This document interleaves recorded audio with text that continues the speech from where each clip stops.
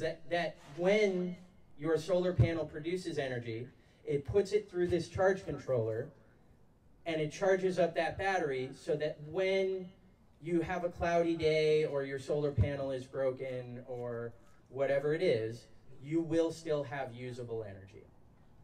After the battery comes your USB ports or your inverter or your DC plugs. Those are your output circuit. That's, that's how you draw energy out of the battery.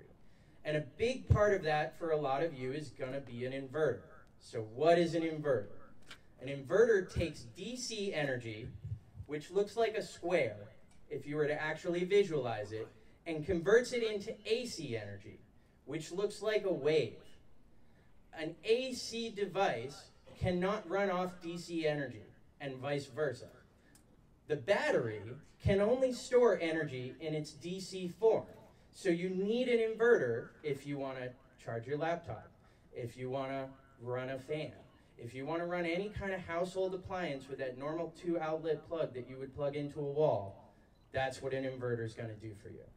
Now, what's actually a better idea is to just use DC energy, like USB outlets, or for your laptop, you can go online and get a DC car charger, because then you're not making a conversion of energy.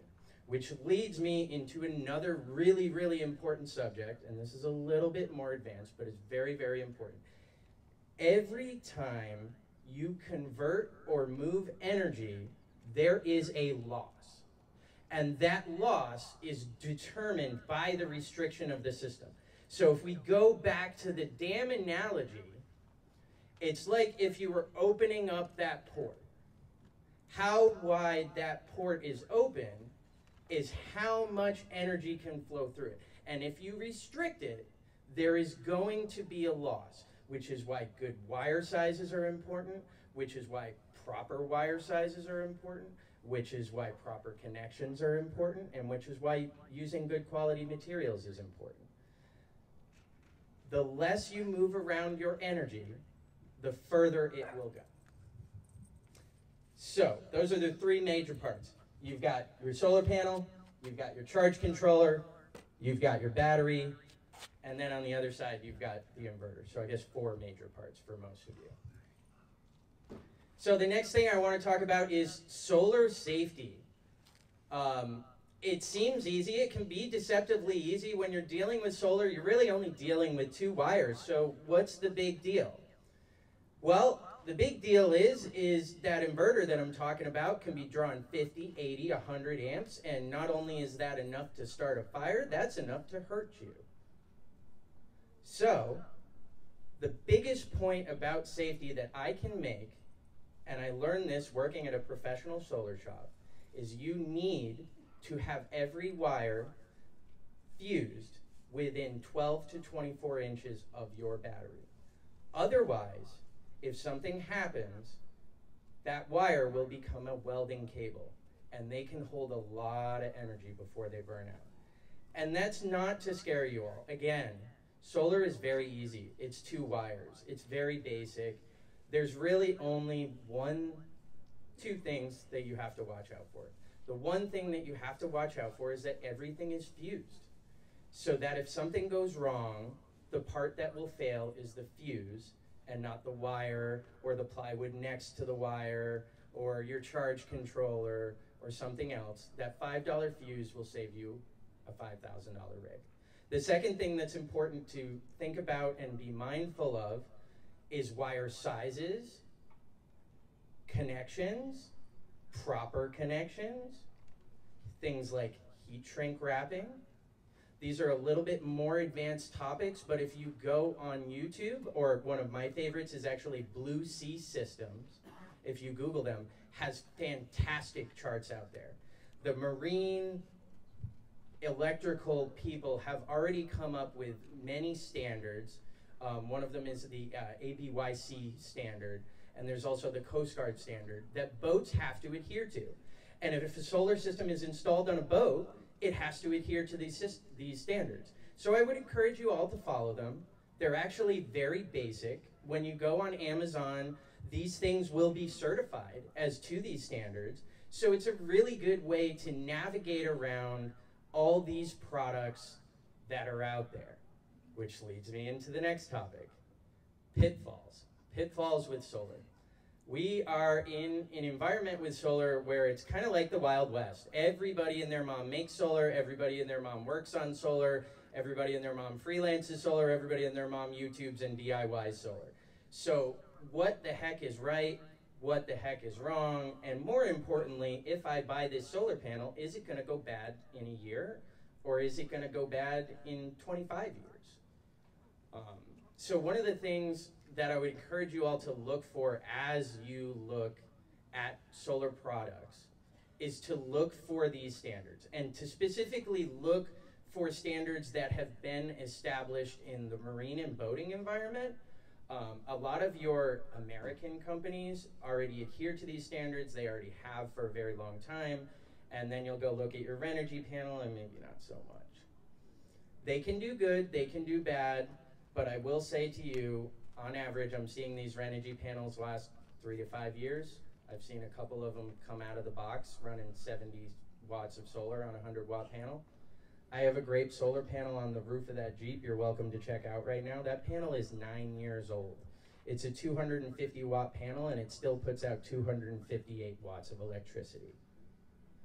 It has a 15 year warranty and that's what you're going to be looking at with a quality panel. If you look at any of these American companies, or actually a lot of foreign companies like say Kyocera, they will have similar warranties. And if you're not seeing that on the product, there is a reason why it's not there. So be mindful of it. The same applies to charge controllers and somebody like Ryan who is willing to come here and talk to you not only about his own company, but about solar in general and things to watch out for, or an inverter company. Shout out on YouTube, where's the inverter companies? Hi, Magnum. Look for these companies that stand by their products because there is no reason a solar panel should fail in five years, or that a charge controller should break and catch on fire in six months, or that a battery should fail in 14 months, or that an inverter comes out of the box smoking. There's no reason for this stuff other than the quality control on their side. So that is my word of warning and pitfalls with solar. You really do get what you pay for at this point. And in the next subject, which is a little like heart, what can you be looking at if you pay for the right stuff? Well, an average solar system is expected to last 25 years at least. I would encourage you all, as you're going out and as you're looking at getting solar systems for your rig, don't necessarily look at giving it up with the rig. You're not going to get much more money for having solar. Nobody cares. Trust me, I'm an off-roader right now. Um, I would encourage you to look at products that will last you more than one rig because these things will. I have a charge controller that's nine years old. I have a solar panel that's nine years old. I just transplant that from rig to rig. I've made batteries last seven years. If you do your homework and if you get proper, good components, they will last you in the long run and it will save you tons of money, tons of frustration, and tons of time. Um, because you really have to think and plan for not necessarily what is the worst case scenario, but what is not the best case scenario. You're not going to have three, four weeks straight of sunny weather. So if your 100 watt panel is just enough when you're on a sunny day, it's not going to be enough when you decide to go up to Oregon. So that's something to think about. Are you waking up in the morning and your, your batteries are at 12.1 and your inverter is beeping at you on a cloudy day? It might be time to add another solar panel. It might be time to upgrade to a lithium battery. But if you save your pennies and you think about what your needs are and what your solar system is telling you, you can spend a lot less money in the long run because these components will last a very long time and are repairable and replaceable. And there are people out there like Ryan who will answer your phone call and bend over backwards to help you. I know he's helped me a ton.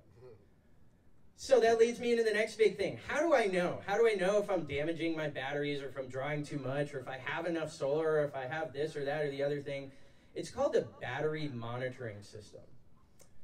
Victron's got a pretty good one. Trimetric's got one that you will hear about a lot. Uh, it's the classic one. There are a bunch of knockoff companies that make them.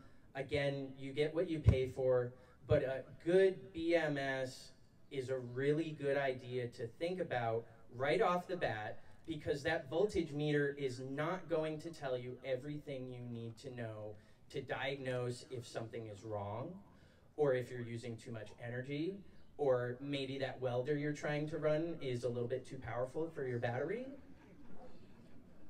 A voltage meter alone will not tell you these things, but a trimetric will. And, and I use trimetric because it's probably the most expensive one out there, and I think they run about $180 now. That's a lot cheaper than a battery. If you think about it that way, that's a lot cheaper than killing your first battery.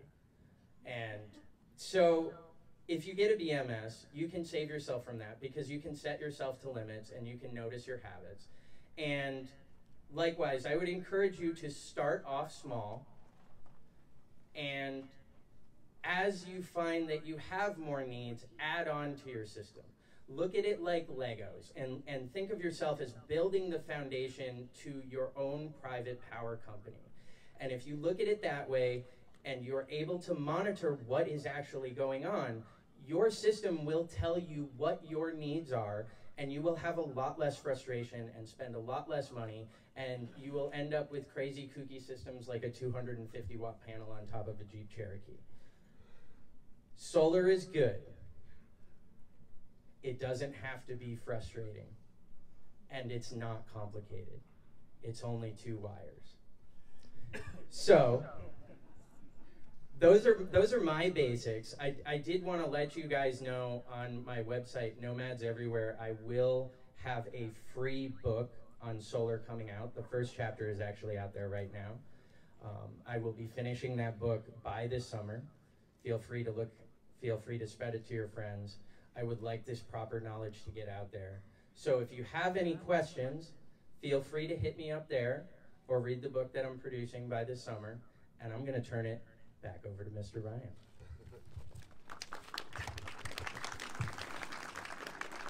I, really like Seth's presentation because he really, you know, puts it very simply. You know, uh, renewable energy is just that; it's renewable. So people often, you know, they say, "How much solar do I need?" Right? That's a common question. How much solar do I need? And like Seth says, um, start small.